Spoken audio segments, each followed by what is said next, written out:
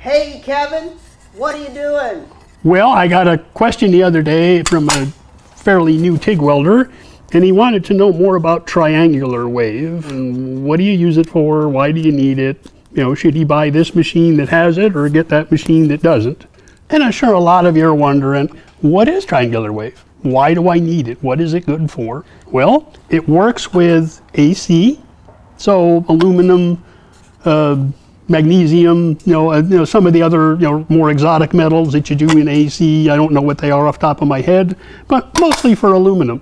And because of the short, short duration of the of the spike of the sine wave, if you will, it allows you to do very thin metals. It allows you to do outside corners, and it helps to control the heat. Helps to control blow through, you know, and it just it really, really helps when you're out of position doing something weird.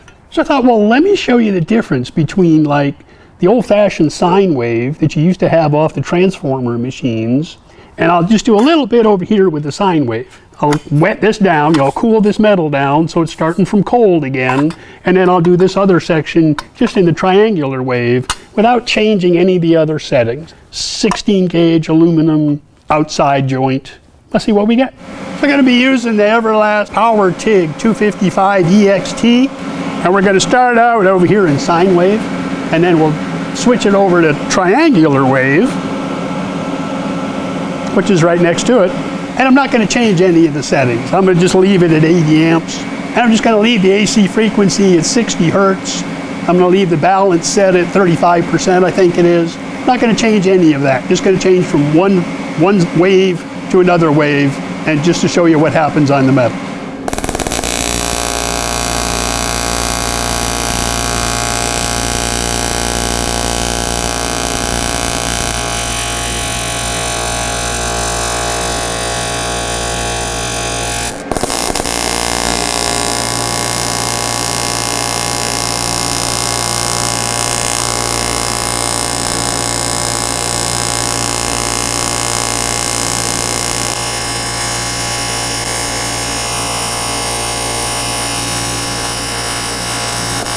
So how did we do?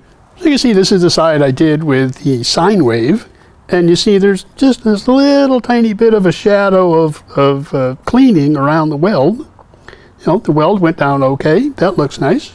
But as you come over here to the triangular wave side, you'll see the, a much bigger uh, area of cleaning without changing anything on the machine other than from sine wave to triangular a much tighter bead, a much tinier little bead in there. And then let's look on the back of it. So the sine wave, you can see a, you know, some discoloration on the back of it on the inside of your joint here where it was trying to burn through a little.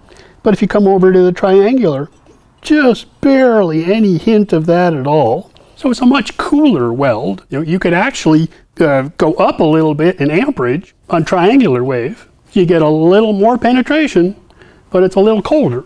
You know, it just helps to prevent burn through on the thin metals. That's what it's the best at, you know, best at doing.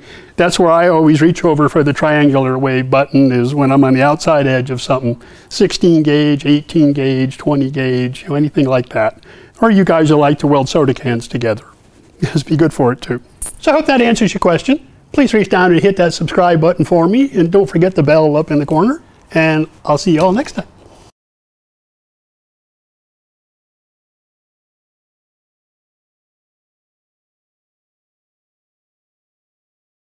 Hey, Kevin, what are you doing? Got something in my eye.